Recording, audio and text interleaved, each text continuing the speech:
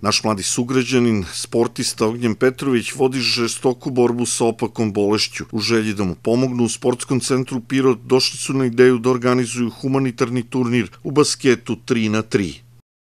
i smatram da je ovo jedna zdrava priča, prvi je memorialni turnir, e, Zvonko i Bane, e, na omladinskom stadionu Kari Pešić, mislim da je simbolika poprilično lepa, smatram da ima po ozbiljan, ozbiljan broj događaja koji su ove godine e, uticali na to da se maltene sve ovo samo namestilo. Nažalost, jeste takav način da, da će prikupljena sredstva biti za pružanje šanse jednom dečaku, Nadam se da će ovo postati tradicija, da taj turnir od ove godine ovaj, traje, pa zaista nadam se dugo i bez prekida ovaj, i da se u nekom trenutku dođe do situacije da se ovaj, sav novac koji bude prikupljen sa turnira ovaj, usmeri na nešto što će biti za igrališta za dečicu ili tako nešto.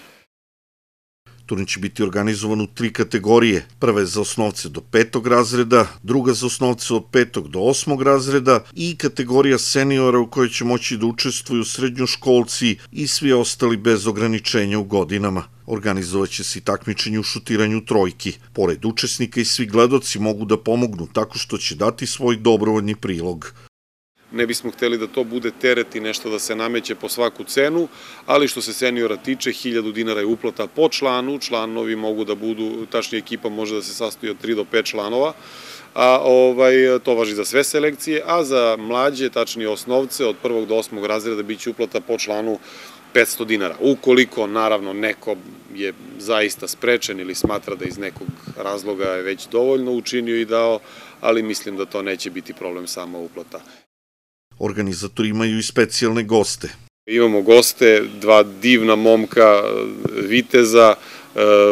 Vlada Kuzmanović, Vladimir Kuzmanović i Luka Spasovski, e,